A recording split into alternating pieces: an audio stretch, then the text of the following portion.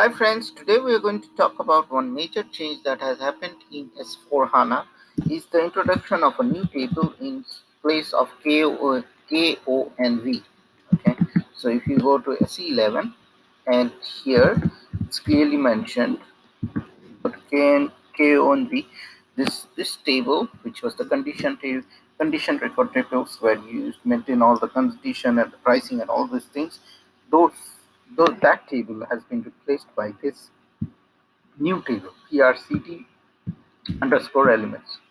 So if i go here and i search and i'm pretty sure you'll get a lot of views you know programs and all those things that that will be beneficial for you all. So here you can see all the views that are related. So you can see the cds views which you can use for to find all the stuffs related with um, KNV. Okay, so this is very very helpful. If I go to the table join, here are the different tables that are being used. Okay, so that's it. Stay tuned to my SAP channel and happy SAP learning. And if you like, share and subscribe to and have a great